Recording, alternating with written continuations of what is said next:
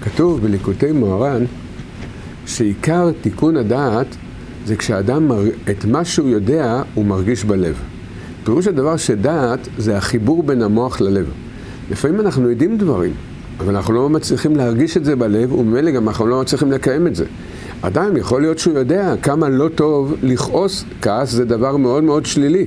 יכול להיות שאדם יכול בעצמו להגיד הסברים, תורות, חוכמות, למה הכעס הוא דבר שלילי, ורבע שעה אחרי זה הוא יכול להרביץ למישהו מרוב כעס. מדוע? מכיוון שעיקר עבודתנו בעולם הזה זה את מה שאנחנו יודעים להאיר בתוך ליבנו. אומר, אומר רבנו, איך אנחנו ממשיכים את זה לתוך הלב? העיקר זה על ידי התפילה וההתבודדות. כשאדם מרבה לדבר עם הקדוש ברוך הוא, להתבודד, ודבר נוסף, עושה חשבון הנפש. איך התנהגתי, מה, מה עשיתי, האם אה, אה, דיברתי בדרך שצריך לדבר, שמרתי את העיניים, אה, קינאתי וכן הלאה, כשאדם שופט את עצמו ועושה חשבון הנפש על ידי התפילה וההתבודדות וחשבון הנפש, אדם זוכה להסיר את המסכים שנמצאים בין המוח והלב, והוא מתחיל להרגיש בלב את מה שהוא יודע במוח.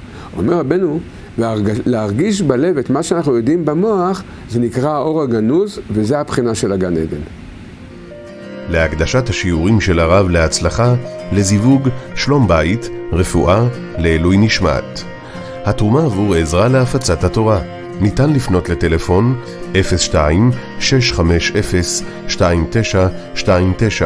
תודה רבה ותזכו למצוות.